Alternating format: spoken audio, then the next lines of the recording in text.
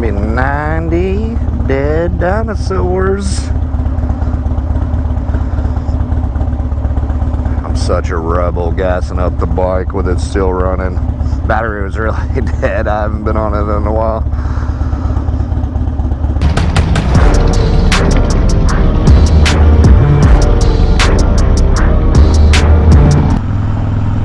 So what's up guys? Welcome back to the channel. This is gonna be moto vlog number 20. It's insane to think that I think in the middle of August, August 20th, somewhere in there was is gonna be my one year anniversary making moto vlogs and posting to YouTube. So yeah, this is number 20. Welcome back to the channel. If you're a new subscriber, hit the subscribe button, smash the bell notification. It will email you when I upload a video. So, I had a funny kind of topic to bring up on this moto vlog. Uh, sitting around with a friend of mine the other day, and he brought something up that kind of that kind of uh, was funny and, and and rang a bell. Um, most people know. Hang on, let me get through the stop sign.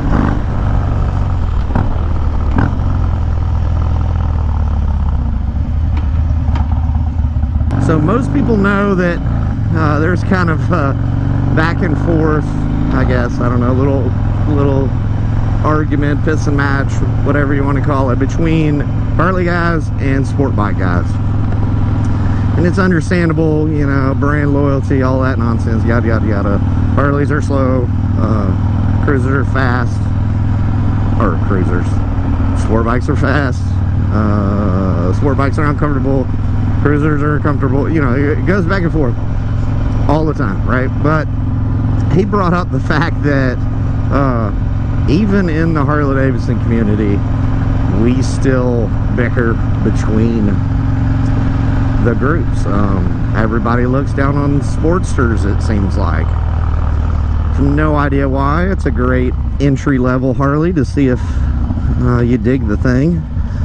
And, you know, for new, brand new iron,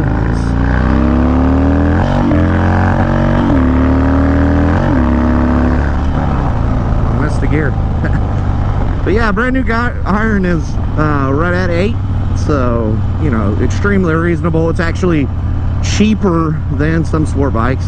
Uh, nowadays, a thousand cc ones are ridiculous, it seems like, but you know, they have a lot of bells and whistles they didn't have in the back in the day. But uh, one little thing with that too is what I've noticed here right, lately on the Dyna forums and the Facebook pages is there's a back and forth between wide glide guys and purpose-built club style guys which I think is hilarious. You know everybody back and forth all the memes is great but yeah it's kind of crazy. There there is a little bit of that uh I don't want to call it discrimination but I don't know. There there's a little bit of that talk with uh, the sport bike guys you know Ducati guys think they're a lot better than uh, they are because their bike is made in Italy and it's red and it costs more and you, you, know all that stuff. And I don't I don't know what it is about Gixxers but I just remember that back in the day that those guys used to get picked on all the time too. So um, I don't know. Um, yeah I'm kind of a I like any motorcycle really. Um, if I would have to get a crotch rocket and had like 20 grand I would get me a uh, H2R for sure. I, those things are wicked. I don't I don't know how you can not like those things. So this is the little spot that I shoot uh, some pictures. You've probably seen it. Let's get back past these dudes it's kind of private back here so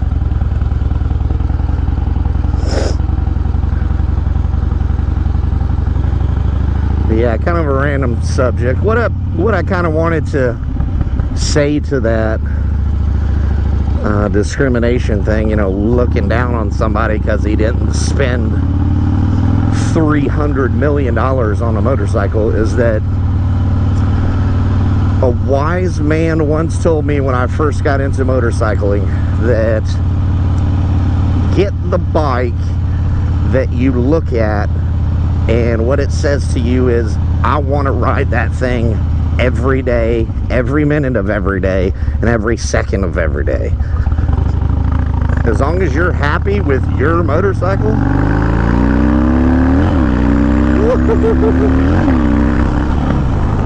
like me and the are, it was a little bumpy back here, then that's what matters. Who cares what everybody else thinks of your motorcycle, this and that, da da da da da.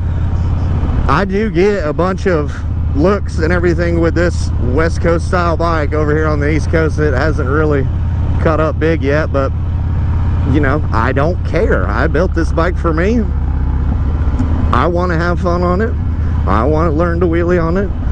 So who cares what anybody else thinks is kind of the moral of the story there. They're lost.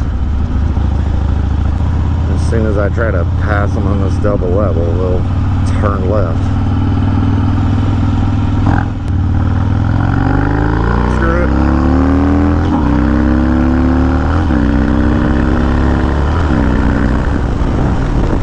Hey guys, the moral of this motovlog is buy the motorcycle that you want to ride. Don't worry about what anybody else thinks. I loved my Sportster. I rode the crap out of it. And when I wanted something else, I got something else. And that's how it goes. Don't don't let peer pressure get you into buying something and then you're regretting it and then you don't ride it. At the end of the day, it's about riding. So buy the bike that makes you want to ride. So I think that's going to be it for Motovlog 20. Um, gosh, it seems like this year, man, has been, I don't know if it's because of the motovlogging or what, but it seems extremely busy. I've been busy every aspect of my life. And we got uh, Springs, Patriot Springs ordered for the Dyna. We got to work on the Road Glide. It's supposed to be 137 degrees this weekend so so I don't know about that. It's kind of hot in that little garage but